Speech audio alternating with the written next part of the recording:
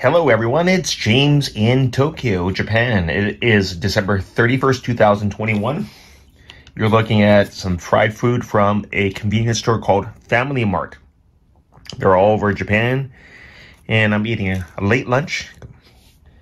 And you can buy, you'll see the, you'll see the, you'll see, right at the counter, you'll see a display with warm food.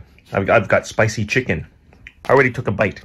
Spicy chicken costs 145 yen. They each cost 145 yen. They're a little bit different, but you can get warm food and it is delicious.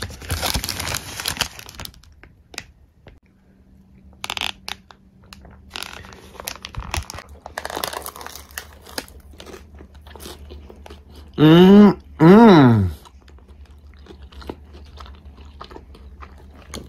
Spicy.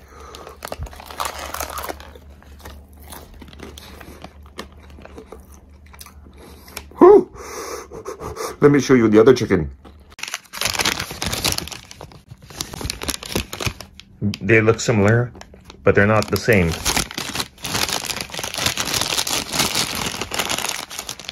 Yum yum. It is currently 2.13 p.m.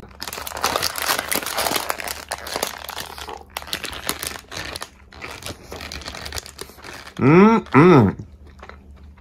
This one isn't as crispy as the other one, but it's still good.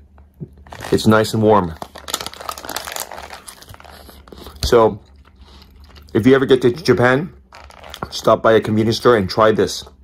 Just say spicy chicken or just say spicy chicken. They'll understand. Everything's in English and Japanese. If there's any doubt, just point. This is at Family Mart. It might be different at Lawson or 7-Eleven, but pretty much the same. Anyway, guys, that's it for this video. I'm going to eat my lunch.